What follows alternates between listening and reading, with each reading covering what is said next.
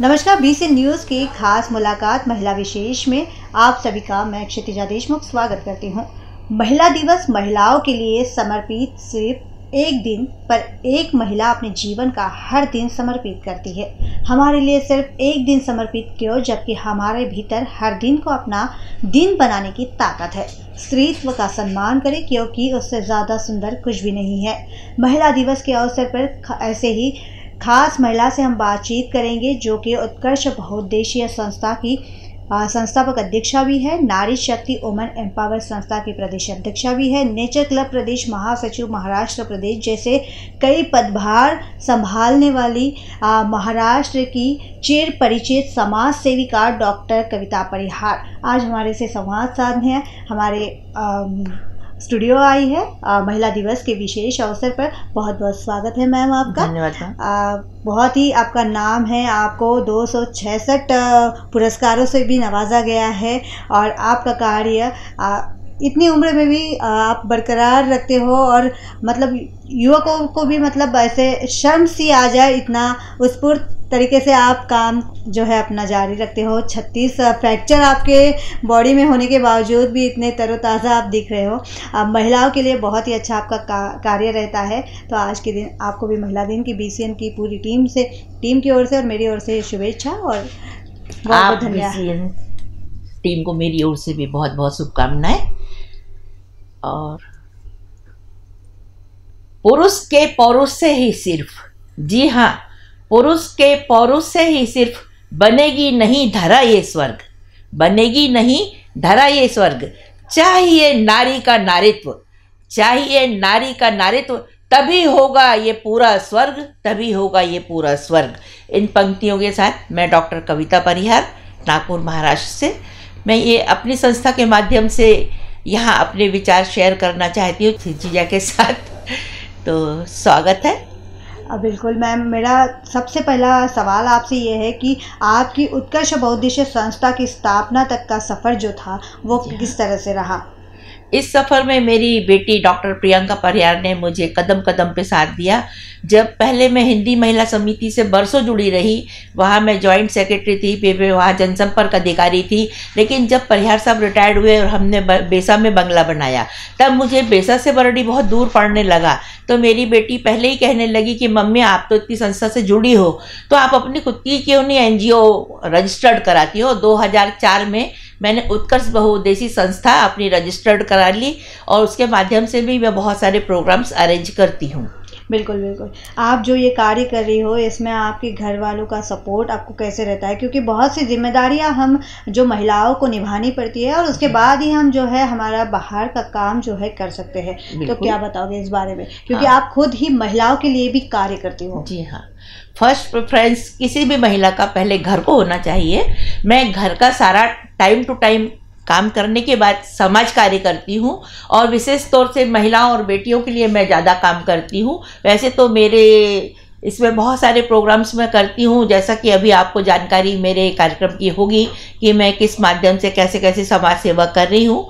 तो मैंने 2004 में अपनी संस्था रजिस्टर कराई और मैं जब यहाँ आई, बेसम में रहने, तब यहाँ मैं रजिस्टर्ड देती थी संस्था का सही करने के लिए। वो इसलिए देती थी कि सबकी सिग्नेचर रहेगी, उपस्थिति दर्ज होगी और उनके न्यूज़ में नाम भी आएँगे। तो यहाँ की महिलाएँ सिग्नेचर करने के लिए भी घबराती थी। उनको लगता था कि मैडम क्या मालूम क्या लिख के हमारी सिग्नेचर ले रही है। बड़े मुश्किल से मैंने उनमें जागृति लाई और अब बड़ी सब बढ़ चढ़ के हिस्सा लेती हैं, मुझे बहुत खुशी होती है। मेरी एक किताब भजनांजलि थी, जब मैं वहाँ, मैंने बेसा में अपने खुद का एक दुर्गा देवी का मंदिर बनवाया है। तो महिलाओं को वहाँ भजन गाना नहीं आता था। मैं गाती थी तो वो पीछे से कोरस देती थी। आज इतनी प्यारी भजन मंडली वहाँ निर्मित हो गई है कि वो इक्कीस सौ, पाँच हज़ार एक लेके जगह जगह भजन गाने जाती हैं हर जगह कहती हैं कि हमारी गुरु माँ डॉक्टर कविता परिहार है। मुझे बहुत अच्छा लगता है जब मुझे दूसरे लोग ये बताते हैं कि तुम्हारे यहाँ की महिलाएँ आती हैं और कहती हैं कि हम परिहार मैडम से ही सीखे हैं। बिल्कुल ये तो बहुत ही अच्छी बात है। मतलब किसी भी कार्य की हमें ये प्रशंसा जब होती है तब वो कहते हैं कि कार्य जो है हमारा सफल हुआ है। बिल्कुल उत्कर्ष बहुद्देशीय संस्था द्वारा कई महिलाओं के लिए जो है जन जागृति पर कार्यक्रम किए जाते हैं जिसमें से एक जो है बेटी बचाओ बेटी पढ़ाओ और बेटी स्वावलंबी बनाओ। तो इस बारे में बताइए ये कैसी योजना है और महिलाओं के लिए और कौन सी कौन सी आ, मतलब जन जागृति पर कार्य आपके संस्था के द्वारा किए जाते हैं? जैसे कि हमारी संस्था का पहले मोटो था बेटी बचाओ बेटी पढ़ाओ। लेकिन मैंने इसमें ऐड किया है कि बेटी को स्वावलंबी बनाओ। बेटी में क्योंकि मेरे आँख के सामने कई ऐसे उदाहरण थे जो लड़कियाँ एम की हैं डॉक्टरी की है, वकील हैं, इंजीनियर हैं। शादी के बाद उनको क्या होता है कि घर का बहू हो जाती है, फिर वो कई लोग पसंद नहीं करते कि वो घर से बाहर निकले, काम पे जाए। फिर वो माँ बन जाती हैं, फिर वो बच्चे में भी ये हो जाती है बिज़ी तो उनका कैरियर वहाँ धरा रह जाता है। लेकिन मेरा ये कहना है कि वो ज़रा ज़रा सी चीज़ के लिए उनको पार्लर जाना हो उनको एक कुछ गिफ्ट भी खरीदना हो अपनी फ्रेंड के लिए तो पति के सामने और पिता के सामने उनको हाथ फैलाना पड़ता है। तो मैं चाहती हूँ कि वो सेल्फ डिपेंड रहें और उसके बाद ही स्वावलंबी बनने के बाद ही उनकी शादी ब्याह के बारे में मम्मी पापा को सोचना चाहिए। बिल्कुल। और ऐसी महिलाओं के लिए आप स्वावलंबी बनने के लिए कई कार्य करती हो जो ताकि वो स्वावलंबी हाँ। बने उन्हें स्टेज उपलब्ध करा देती हो उनके हुनर हाँ। को आ, मतलब प्रेजेंट करने के लिए। इस बारे में बताइए। हाँ। अभी हमने हिंगना में एक उद्योगिनी केंद्र खोला है जहाँ हमारे यहाँ कैग बनाने का प्रशिक्षण होता है और इंग्लिश स्पीकिंग कोर्स सिखाया जाता है, सिलाई सिखाई जाती है। काफ़ी कुछ वहाँ, जो निरक्षर महिलाएँ हैं, उनको साक्षर करने के लिए जो प्रौढ़ शिक्षा है, उसको भी हम वहाँ प्रोत्साहन देते हैं। ऐसे कई काम हम करते हैं। हम मंच देते हैं महिलाओं को, जिनको गाना आता है वो गाना गाती हैं, जिनको डांस आता है वो डांस करती हैं, और कुछ प्रतिभाएँ उनमें छुपी रहती है, उनको मंच में महिला दिवस के दिन उनका हम सम्मान करते हैं। तो उनको देख बाकी भी औरतों में एक ऊर्जा उत्पन्न होती है वो सोचती है कि जब ये कर सकती है तो मैं क्यों नहीं कर सकती? तो सबकी अपनी अपनी प्रतिभा को उभारने का हम एक मंच देते हैं अपने। बिल्कुल। पीपल नीम अभियान भी आपने चलाया था इस बारे में पीपल नीम अभियान हमारे राष्ट्रीय अध्यक्ष जी ने चलाया है। और मैं उसके अंतर्गत काम करती हूँ, मैं महाराष्ट्र प्रदेश से उसमें जुड़ी हूँ और अभी हमारा नेपाल में लुम्बिनी में बहुत बड़ा राष्ट्रीय सम्मेलन हुआ था, वहाँ पर्यावरण योद्धा का सम्मान मुझे इंटरनेशनल सम्मान मुझे प्राप्त हुआ है और मैं बहुत अपने आप को खुश नसीब समझती हूँ कि मुझे पर्यावरण के लिए ये सम्मान प्राप्त हुआ है। बिल्कुल। आ, ये तो बहुत ही आ, मतलब अच्छी बात है हमारे लिए भी कि आपको जो है भारत से बाहर एक सम्मान प्राप्त हुआ है। नहीं मुझे आ, भारत के बाहर भी बहुत सम्मान मिले हैं। जैसे रा, रानी पद्मावती अवार्ड जो है इंटरनेशनल अवार्ड वो मेरे को जमशेदपुर में मिला है। वैसे मेरे को नहीं मेरे को अभी तो मेरा बायोडाटा भी मैं बता पाऊँगी मेरे को याद भी नहीं रहते हैं इतने पुरस्कार। अभी अभी डिसेंट में बता रही हूँ छः सात पुरस्कार तो मेरे को इसी वीक में मिल रहे हैं। बिल्कुल बिल्कुल। आ, जिस तरह से आपका कार्य है उसी को सम्मान किया जा रहा है हम कह सकते हैं जो पुरस्कार आपको मिल रहे हैं। आ, मेरा एक सवाल था कि जो आप काम मतलब ये समाज सेवा करते हो तो इस दौरान घर के और किस तरह से ध्यान देते हो? घर से जो है कैसे सपोर्ट मिलता है? आपकी बेटी है आपके हस्बैंड है इनकी ओर से या और भी जो रिलेटिव्स होते हैं तो कभी ऐसी दिक्कतें आई है कभी काम करते समय? नहीं। ऐसी कोई दिक्कत इसलिए नहीं आई कि मेरा ये कहना है कि स्वावलंबी बनो। मैं खुद भी स्वावलंबी हूँ। मेरा एक हाथ पैर कोई काम नहीं करता है, मेरे पैर में भी रॉड है, हाथ भी मेरा सीधा नहीं है। लेकिन मैं अपना काम खुद करने में आत्मनिर्भर होकर खुद करती हूँ। लेकिन मुझको घर से कभी किसी ने विरोध नहीं किया है, क्योंकि मेरा काम अच्छा था, इसलिए मुझे घर से भी प्रोत्साहन मिला है। और कहीं मेरे को रुकावट नहीं आई और मेरी जो टीम, मेरे जो डाउन लाइन है, मेरे जो सदस्य हैं, मेरे मेंबर हैं जो संस्था के वो मुझे पूरा सपोर्ट करते हैं आगे आने के लिए। बिल्कुल। उत्कर्ष बहुद्देशीय संस्था द्वारा आपका क्या विजन है महिलाओं के लिए खास तौर पर कि महिलाओं के लिए आपको और क्या कार्य करने हैं? महिलाओं के लिए तो मेरा बहुत ये मन में आता है कि अभी जैसा कैरी बैग बंद हुए थे तो मैं पेपर बैग बनाने के लिए लार्ज स्केल पे काम करना चाह रही थी। फिर उसके बाद में मैं उन लोगों को अगरबत्ती वगैरह का प्रोवाइड करना चाह रही थी हमारे बेसा के अंतर्गत। लेकिन लॉकडाउन होने के कारण मेरा प्रोजेक्ट सब रखा रह गया। हाँ एक बात मैं आपसे और शेयर करना चाहती हूँ जो शायद मैंने आपको बताई नहीं है कि इस दो साल के कोरोना काल में मेरे को फोर्टी थ्री संस्थाओं द्वारा सम्मानित किया है कोरोना योद्धा सम्मान से। जब पहले कोरोना चालू हुआ था उस टाइम में पुणे में बेटी के हाथी मेरे ग्रैंडसन का बर्थडे था और मैं वहीं रह गई क्योंकि सारे फ्लाइट्स भी बंद थे, ट्रेन भी बंद थी, बसेस भी बंद थी। तो वहाँ से मैं फ़ोन पर अपनी संस्था के माध्यम से और अपने परिचितों के माध्यम से मैंने कंटिन्यू डेढ़ महीने दोनों टाइम पैंसठ पैंसठ डब्बे खाना बंटवाया है। राशन के किट बंटवाए हैं। हमारी संस्था ने पैसा इकट्ठा करके और स्लम एरिया में अनाज बांटा है, ब्रेड, बिस्कुट बांटे हैं और मास्क बांटे हैं अवेयरनेस कैंप लगाए हैं। हम लोगों ने महिलाओं में जागृति लाने के लिए जैसे मास्क लगाना कंपलसरी है, ये वो सब मैंने ऐसा अपने माध्यम से बहुत किया। और मुझे खुशी है कि जब मैं यहाँ नहीं थी और मैं पूना में थी और फ़ोन से मेरा इतना काम हो रहा था जो मैं फेसबुक पर अपडेट करती थी अपने स्टेटस पर अपडेट करती थी उसके माध्यम से मुझे इतने लोगों ने जाना पहचाना और मुझे इतने सारे सम्मान मिले। ये मेरे लाइफ में एक अचीवमेंट है कि मैंने कोरोना काल में फोर्टी थ्री सर्टिफिकेट पाए हैं। आ, महिलाओं के स्वास्थ्य के लिए भी आपके द्वारा जो है जन जागृति की जाती है इसके बारे में क्या बताओ? महिलाओं के स्वास्थ्य के लिए मैं ये कहना चाहूँगी कि घर की धुरी महिला होती है नारी होती है।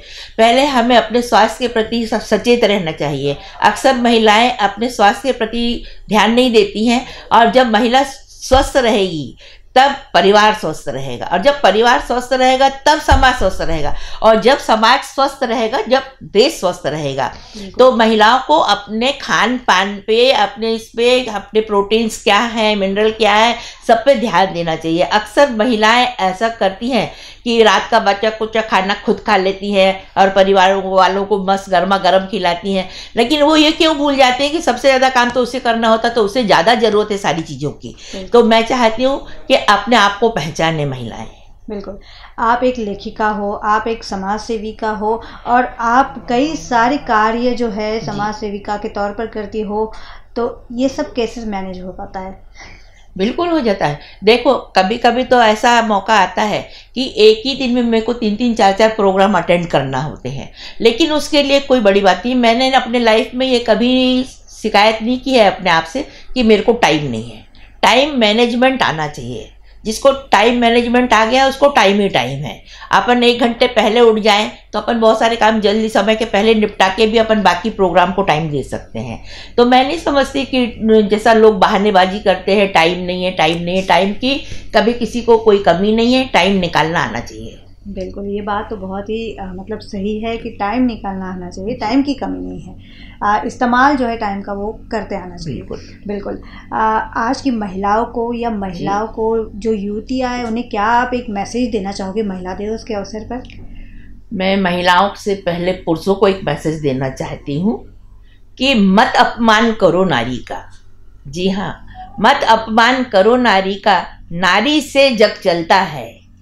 पुरुष जन्म लेकर भी नारी की गोद में पलता है, नारी की गोद में पलता है तो उसे अपनी माँ का, अपनी बहन का और अपनी नारी शक्ति का सम्मान करना चाहिए। ये उनके लिए मैं कहना चाहती हूँ और लड़कियों के लिए और महिलाओं के लिए ये कहना चाहती हूँ कि अपने आप को आप बहुत आगे ले जाओ, लेकिन घर वालों का आप सम्मान कीजिए, घर वालों को अपने फेवर में लेके काम करोगी तो आपको कभी भी रुकावट नहीं आएगी।